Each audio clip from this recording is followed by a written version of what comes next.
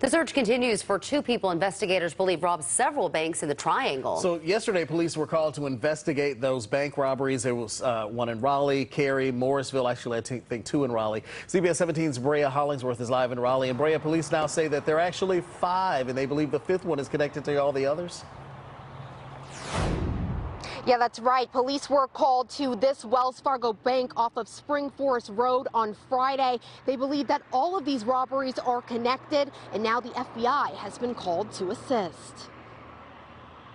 One bank in Morrisville, one in Cary, and now three in Raleigh, all robbed. The search continues to find the suspects responsible for the robberies and ditching a getaway car. Investigators were called to a robbery Tuesday at this bank in Morrisville. While there, Morrisville Police Chief Pete Acosta says they got word about a similar suspect tied to other bank robberies in Raleigh. The suspect was um, dressed in dark clothing, um, got into a vehicle later found that he was uh, suspect in a few other robberies in, in Raleigh and in Cary. Cary police say they tried to intercept the suspect's car but were unable to stop it.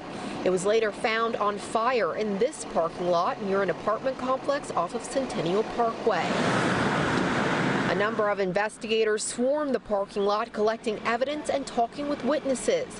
Chief Acosta told me his agency is working closely with the FBI and other agencies to find the people.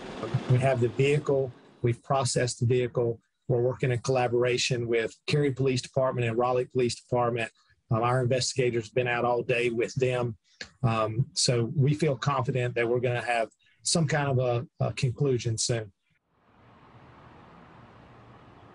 Now, we did ask police for any photos or surveillance video of the suspects, but they say they are not releasing that at this time. In Raleigh, Brea Hollingsworth, CBS 17 News. All right, and the search continues. Thank you, Brea. Well, two middle school students in Rocky Mount are facing charges after a gun was found on campus. Police say one student brought a gun from another student at Parker Middle School. A school resource officer and administrators then took that gun. Police said there was no threat